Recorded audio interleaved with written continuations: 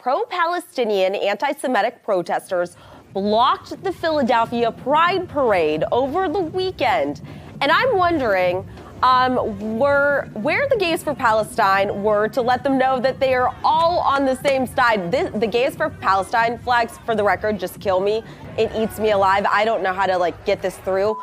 Uh, that they would yep. not survive in Palestine. But Tera, it's pretty wild when the radical left factions um, now face off with each other. I mean, it's the left versus the left.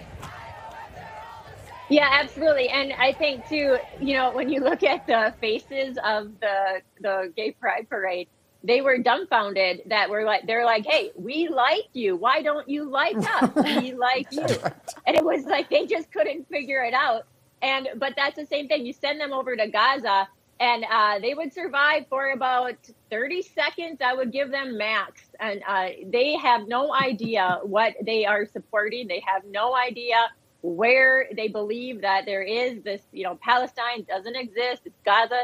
You know they have no idea what they would encounter uh, if they were going over there. But that was so funny just to see the faces on those people. Yeah.